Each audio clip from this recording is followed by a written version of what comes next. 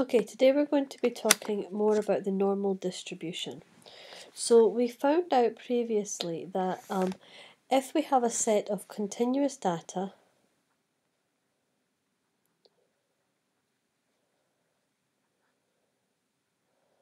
and that we can, the curve, um, a curve graph can represent the probability distribution of a continuous random variable. So if we had some random variable x and it can be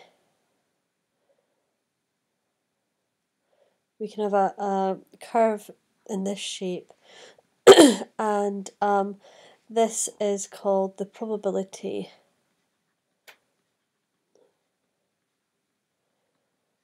density function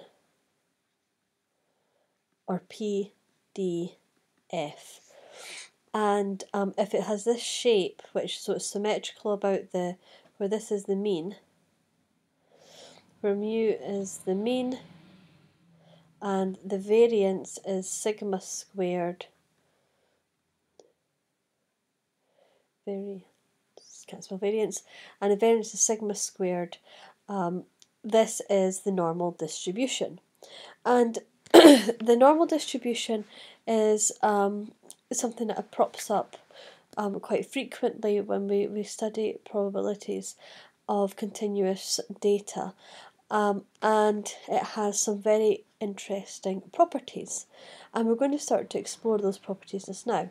Now, if we were to, we can actually find a function for this curve, and the function is f of x equals 1 over sigma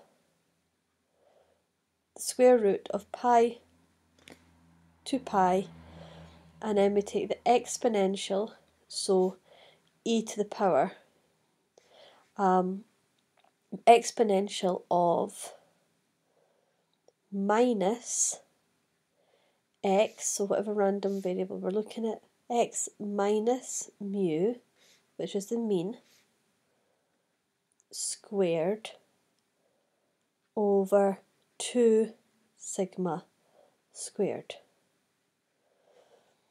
for all real values of x.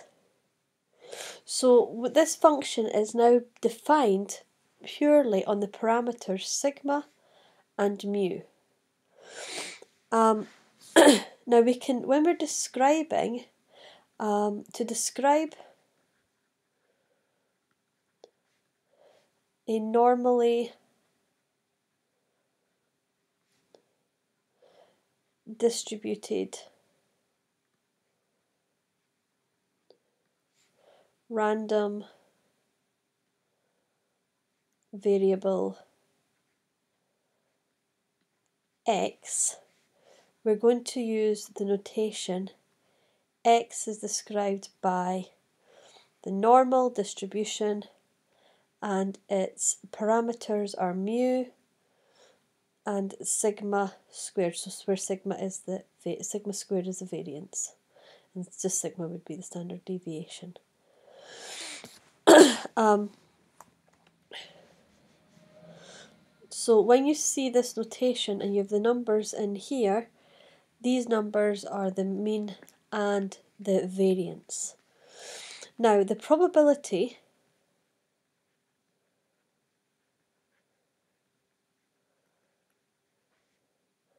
that x takes a value between a and b so say we had a value A here and a value B here, it could be anywhere, is equal to the area under the curve.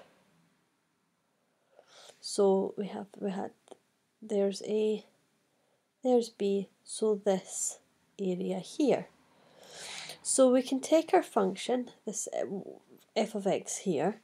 And so the probability that a is between um, x is between a and b is going to be the integral between a of b of f of x dx. Now let's look at this function.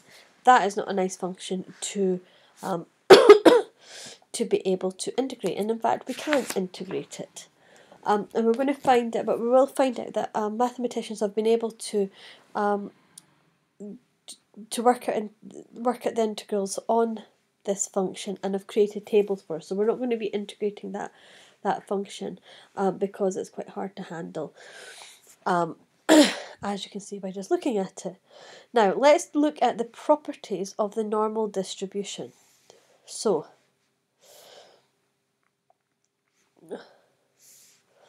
so properties and the probabilities that go with that.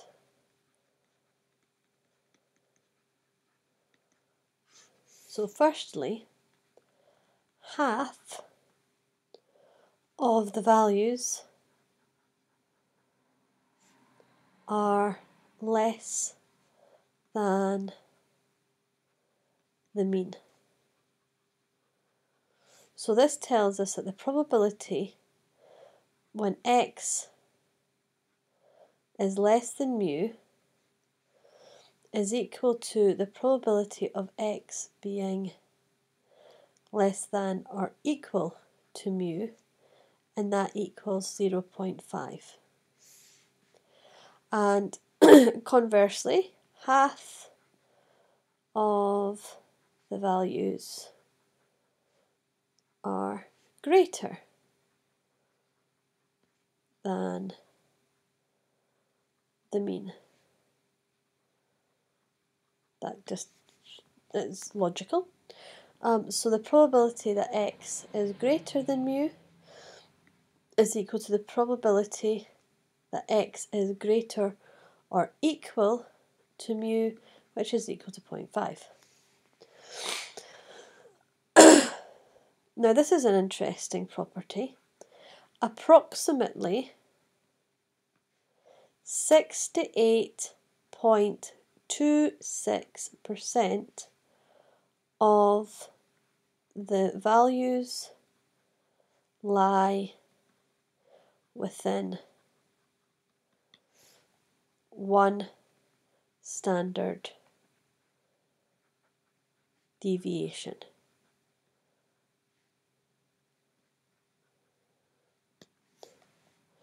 So if we were to take the probability that mu mu minus sigma um, is less than or equal to x or x is less than or equal to mu plus sigma that equals 0 0.6826 now I'm going to draw a little um I'm going to draw graphs of this just to make this seem clearer in a minute um secondly approximately 95.4 44% of values lie within two standard deviations. So the probability of mu minus 2 sigma so e equals to x less than or equal to mu minus 2 sigma is equal to 0 0.9544. And thirdly, approximately 99.72% of values lie within three standard deviations.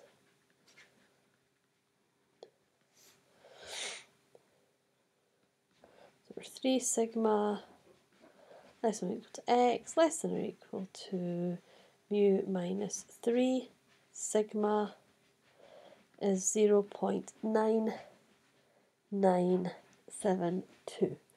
So let's look at, let's make our mu equal to 0. And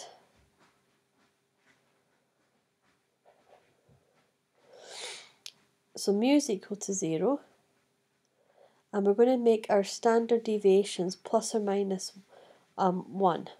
So this is going to be minus 1 plus 1 and this is our so this here is mu minus sigma and mu plus sigma so there is so this is this the area under this between minus 1 and plus 1 will be the probability that x lies within the standard deviation. And let me just change the colour. I'll colour that in a different colour. Um, oh, it's not come up a different colour. There we go. So there's that. And this is, so that probability there, the area under here is 0 0.686. Now, this means, so we'll draw another little curve. Again, we're going to just make it so that our value for mu, our mean, is 0. And here's our 1, for our sigma is going to be 1. So this is mu and this is mu plus sigma. And this tells us that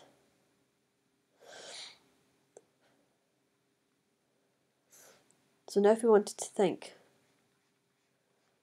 let's get that probability there coloured in. so if we wanted the probability of x being less than or equal to 1,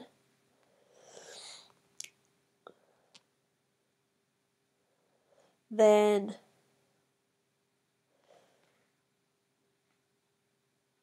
that's going to be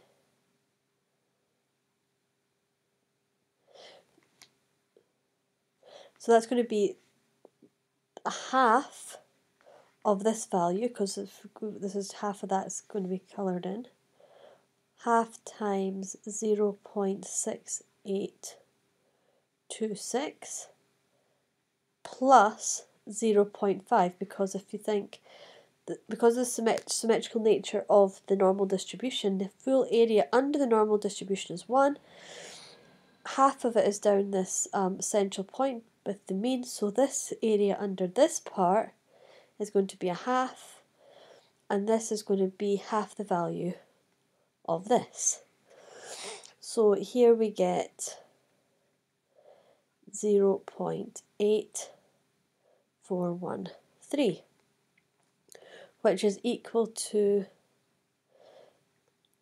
also equal to the probability of x greater than or equal to minus 1. So if we had the opposite, just draw it here. So we did minus 1 and we were thinking x is greater than, so this area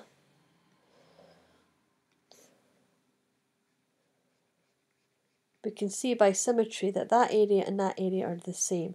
So x greater than or equal to minus 1 is the same as the area of less than or equal to 1. And this is going to be an important little fact in a few minutes. Um, and let's do, shall we get rid of that and we will, let me get another page up because I've run out of space. So, but just a bit bigger. So kind of these are meant to be symmetrical. So again, our mean is zero. This time we're going to do two standard deviations. So this will be minus 2 and 2. And we're going to be interested in this area and we know from our properties of the standard deviation that that area under the curve is going to be 0 0.9544. So this is min, mu, um, not minus mu. So this is mu minus 2 sigma and this is mu plus 2 sigma. And we can also have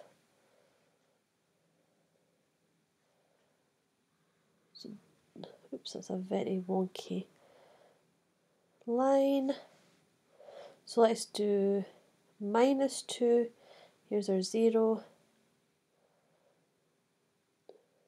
let's get that bit coloured in. So if we wanted to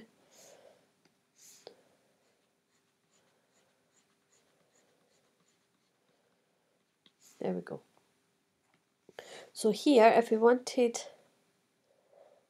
so we know that the probability between 2 minus 2,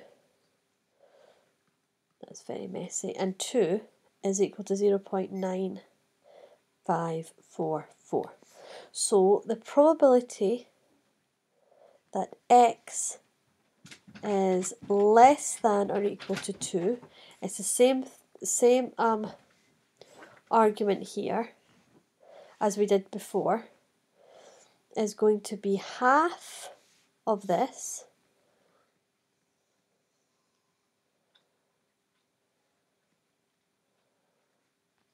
Plus 0.5 which is equal to 0 0.9772 which is going to be equal to p is when x is greater than or equal to minus 2 which is what we've drawn here.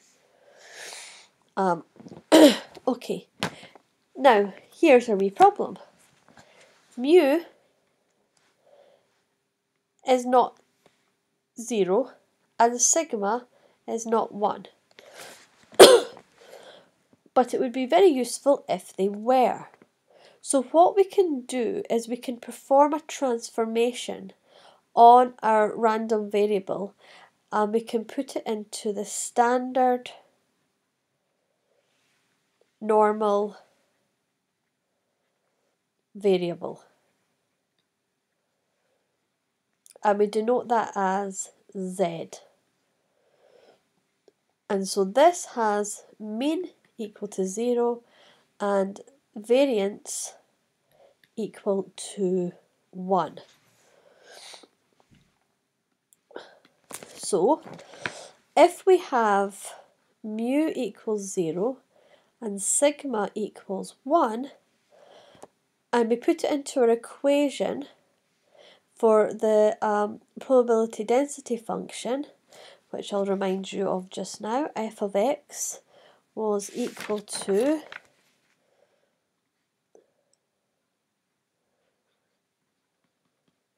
the exponential of minus x minus mu squared over 2 sigma squared.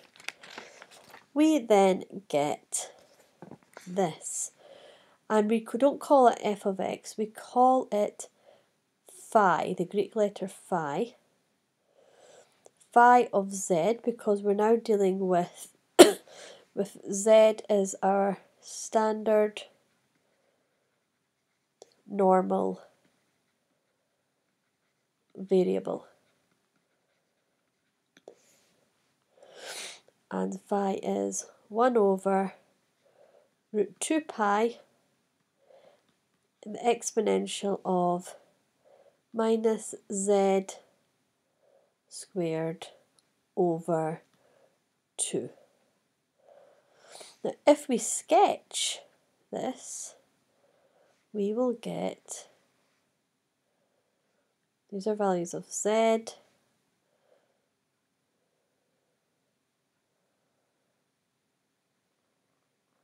a nice normal curve with mean 0 and we have our our um, standard deviations 1 minus 1 and then two standard deviations, and so on and so forth. Um, now, because of the symmetry, values we can we can have values of x any z less than 0 represents less than mean.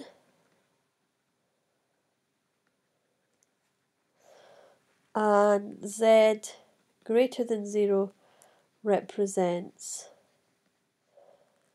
um, greater than mean.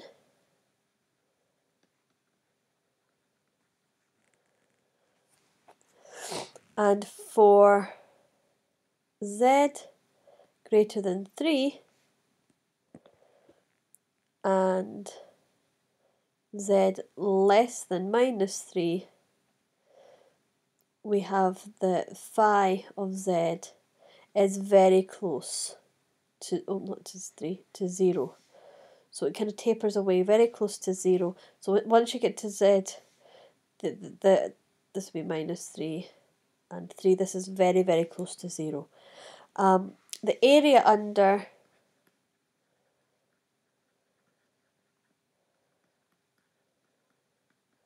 is 1.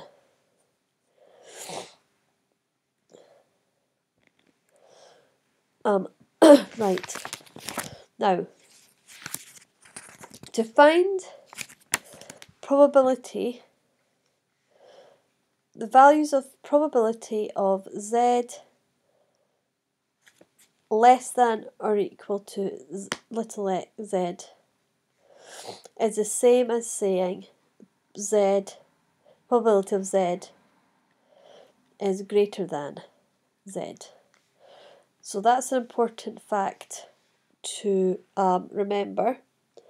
Um, and it comes out of the the um, symmetry of phi. Now, the probabilities are compiled in tables because um, of their complexity. Some calculators, they might have a little button for phi of z the inverse function of z might also be on these calculators, but not all calculators have them. Um, but the, um, there's mathematical tables, and the tables are available in the exam. Um, they should be at the end of the textbook, and they're also available online for you to use. And we're going to have a wee look at how to do this just now. So let's look at this as a standard normal distribution function. And so let's say we wanted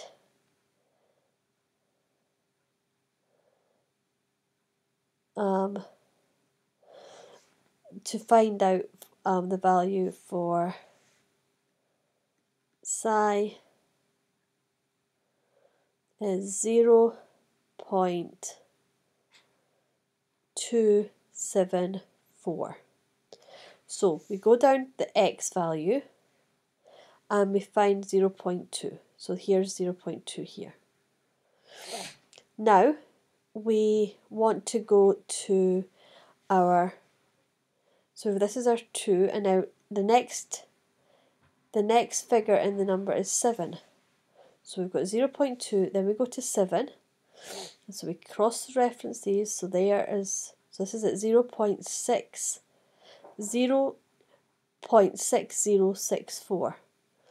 But we've got more figures after the 7. We've got 4 and we've got 1. So we go to the fourth figure. Well, it's not one, that's the closing of the bracket. Um, so we go to the 4. So here's the 4. We come down and there's a 15. So I'm going to have to come off of this and so I'll just write down what we were looking for. We're looking for the value of phi um, when write it down here 0 0.274 so wonky 2 So we found our value for point 2. So our value for point 2. Our value for 7, so it was 0 0.6064. So we'll write that down. So we've got 0 0.6064.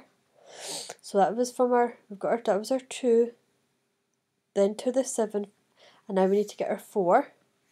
So we go to the 4 here, down to where it comes to the point 2 row, and we have a 15. So what do we do to 15? It says add. So what we do is we add 15 to the last two digits. So it's 0 0.00 and then 15 in these uh, um to these digits here and then we get 0 0.604 so if you think about it tenths column hundredths column thousandths column and tens thousandths column so th this is our thousandths and tenths of thousandths column for the add bit if you think about the decimal version. So now if we want we can also find we could be given the probability of a function of, of something being this. Um, and we want to find the value of z. So what you would do would do you would go the opposite. So that would be like saying the inverse function of 0.6079. So this is a probability and you want to find for what value of z this is a probability. So what you would do is you'd look for the number that's closest in the table and then back work it. But we'll do um, some examples of that. This would be 0 0.274 if you did that. If you got on your calculator, you're lucky. Right, let's look at an example.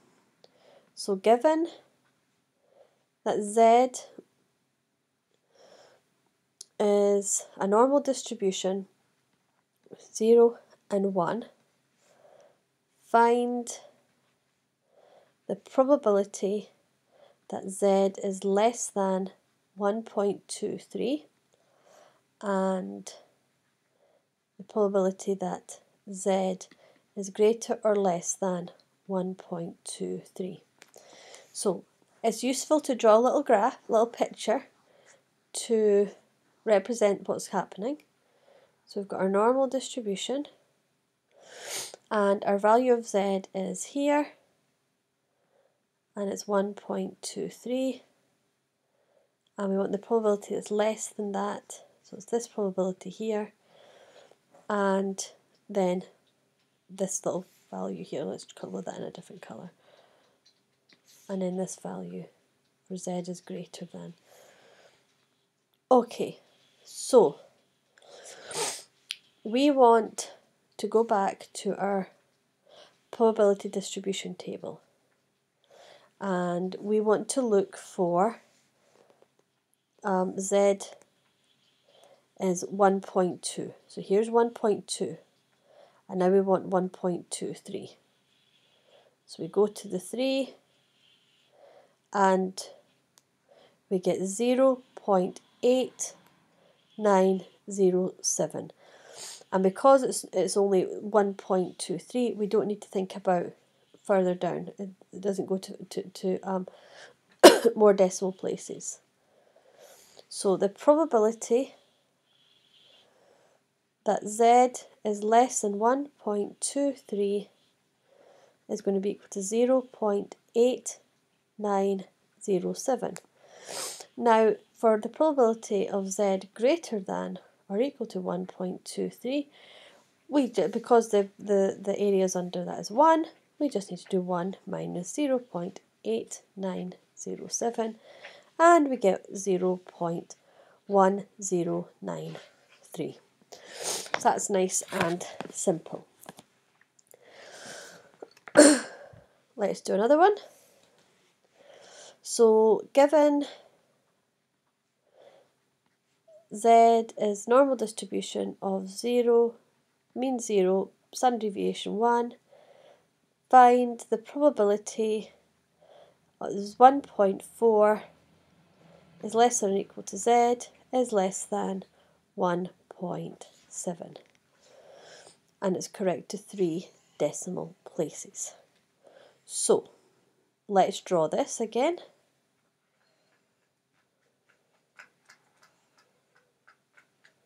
Oh, that's terrible.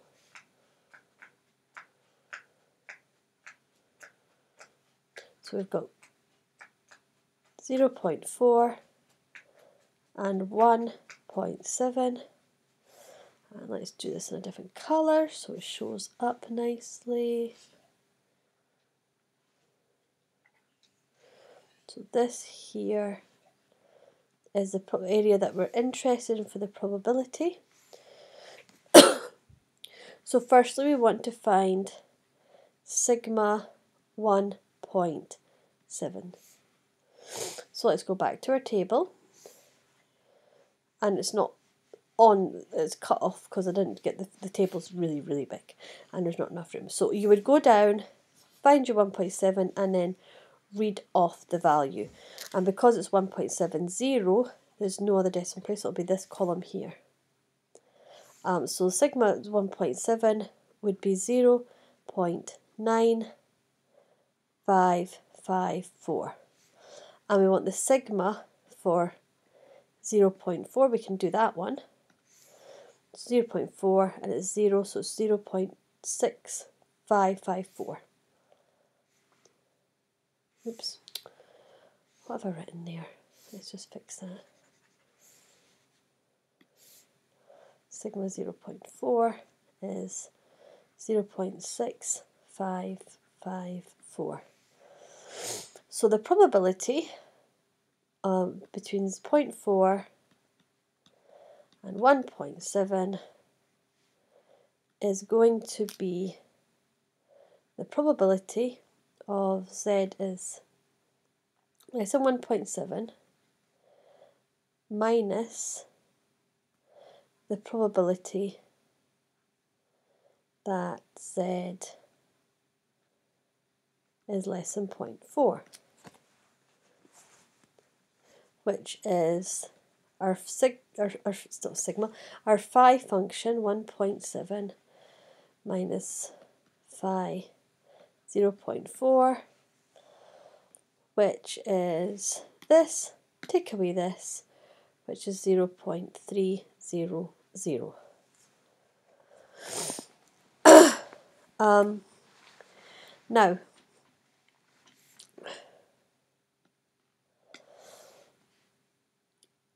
the tables, let's see the tables here, they don't show that, they start at zero, they don't show values for minus, although I have seen them online, but um, typically they don't. They don't have the negative values, but that doesn't matter because of the symmetry of the function. So let's look at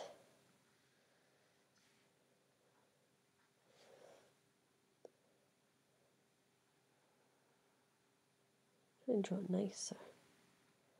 This, and let's look, we've got here's our zero, and we're going to do some value of x, z, b.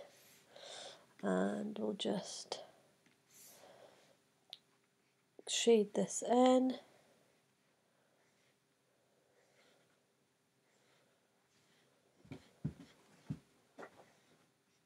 There we go, shaded that in. so phi b is equal to the probability that z is less than or equal to b. So less than or equal to b.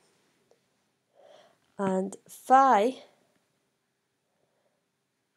b um and 1 minus phi b is going to be equal to the probability of z greater than or equal to b, which makes sense that would be this part here, 1 minus 5b. Now let's look at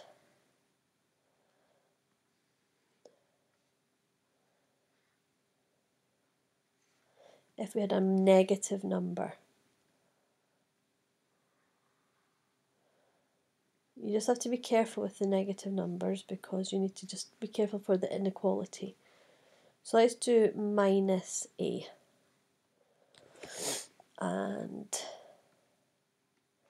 this time we're interested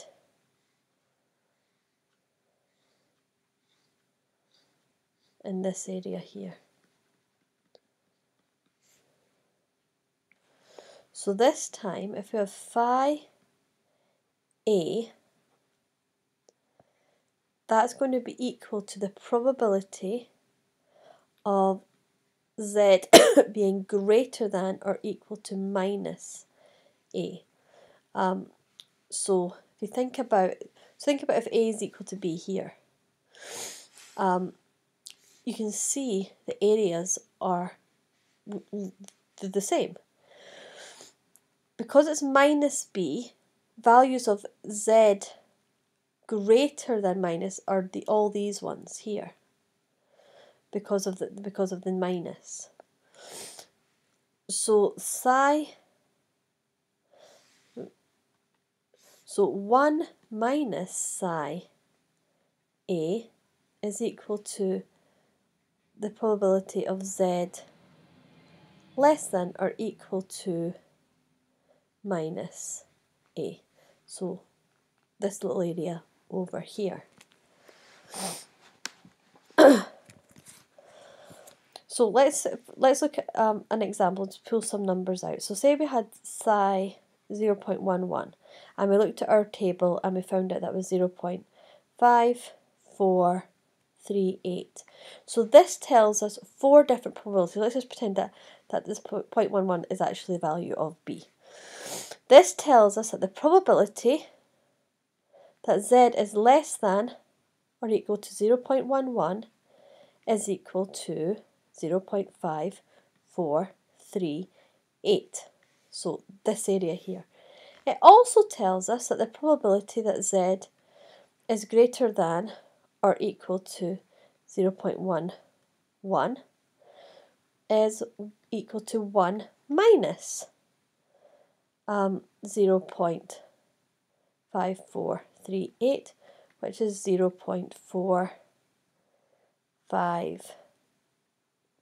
0.562. So this area here. It also tells us the probability that z is greater than or equal to minus 0 0.11 is equal to 0 0.5438 so this area here. And uh, logically, it tells us the probability that z is less than or equal to minus 0.11 is equal to 1 minus 0 0.5438, which is 0 0.562. So this little area here. So I hope that makes sense. Now this is understanding this little principle and being able to flip the, the, the, the inequality signs round is going to be quite important for the next wee bit. Um, and because um, we're going to do some some examples where z is going to be negative. So let us do that now. Given that z is normal distribution, mean zero, variance one. So when you see this, you know you're going to be using those tables, okay? When you see this here, you're going to be thinking, I need the tables. Find the probability that minus 1 is less than or equal to z is less than 2.115.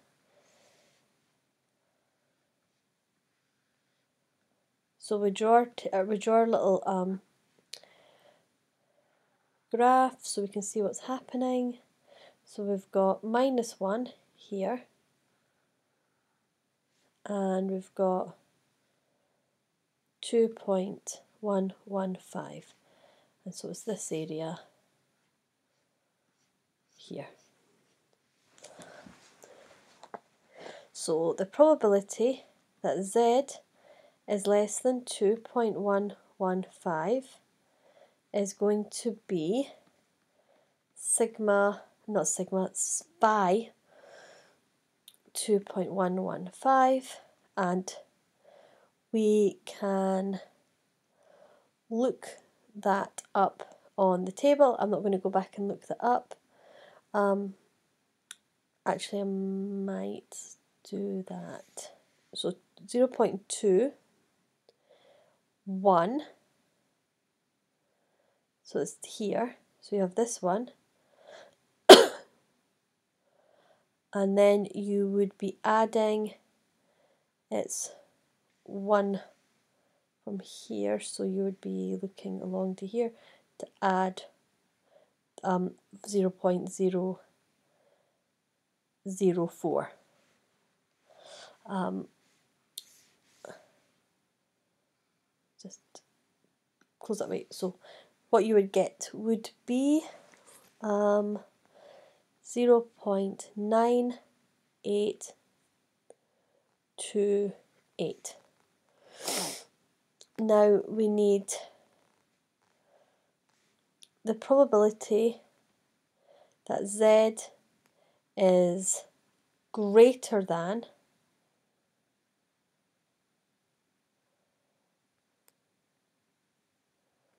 so the probability that um,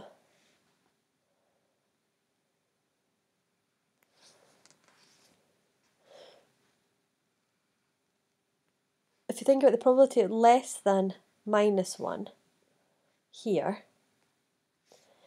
is going to be equal to the same as 1 oops that's a 1 minus phi for 1 and that would give us this probability here.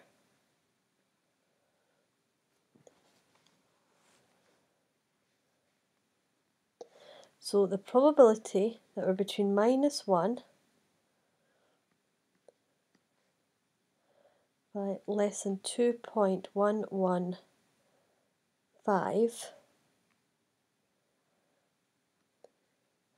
is going to be our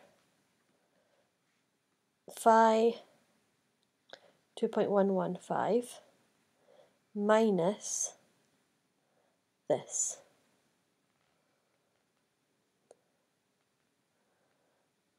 So 1 minus, which is 0 0.9828 plus 0.8413 minus 1, and that comes out at 0 0.824. and so let's do another one where we're going to be doing the inverse. So we've got Z is a normal distribution, 0 and 1. Find oh excuse me the value of A such that the probability that z is less than a equals 0 0.9072. Um, one of the nippy things with these questions is making sure you write the big long decimals down properly. So,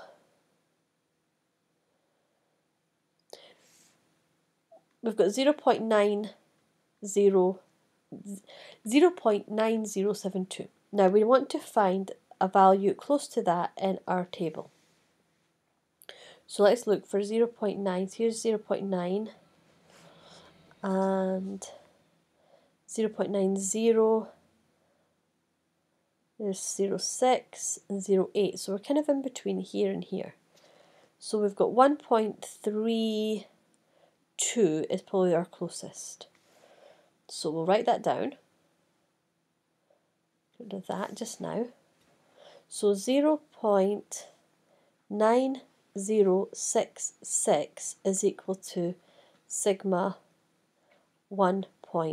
1.32. Okay.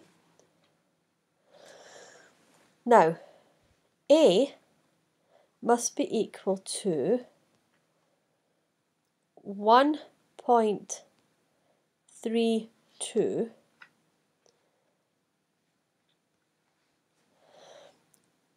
plus something else. So our value, so we've got our, we want this value, we want 0 0.9072. If we take away 0 0.09, 0 0.9066, so I'm getting all my zeros and nines and everything muddled up um, we get 0 0.0006. So let's go and have a look at our table. So we had 1.32 and let's go along here and find where it says add 6. So here's add 6 and we come up to here and we get a 3.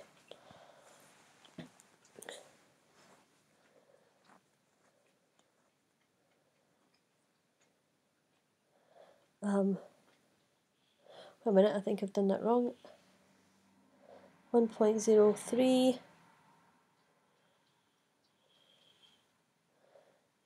coming along here, add 6, it's add 4, sorry I went to the wrong column. So we want to add 0 0.00 4. So the add 4 bit is, remember, it's we have to add and put into the right position in our decimal. So that will give us 1.324. Um, and if you've got it in the calculator, you, you can use it with, um, if you've got a calculator you, that has that function, you can use that. But that is how to do it from the table. Um, and as you just saw, it maybe use a ruler just to make sure you can keep track of the lines um, because it can get a bit fiddly. Um, to get rid of that, and we want to do one more question. So, given z is a normal distribution with 0 and 1, find b such that probability of z greater than or equal to b is equal to 0 0.7713.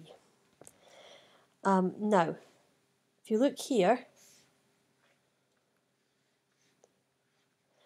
that tells us b is negative. So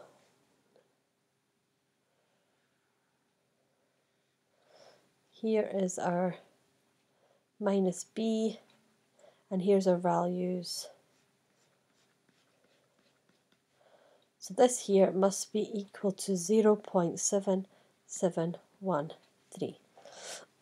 so we can flip this around because of the symmetry and we can have our plus b here and that will also be equal to that. So for sigma z less than or equal to our value for b, it must equal 0 0.7713. So let's go back to our tables. Um, 0 0.77